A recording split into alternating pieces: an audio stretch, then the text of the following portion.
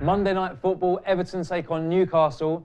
Everton have failed to win their last three games. Newcastle, on the other hand, have won more points in their last seven away games than they had in their previous 22 on the road.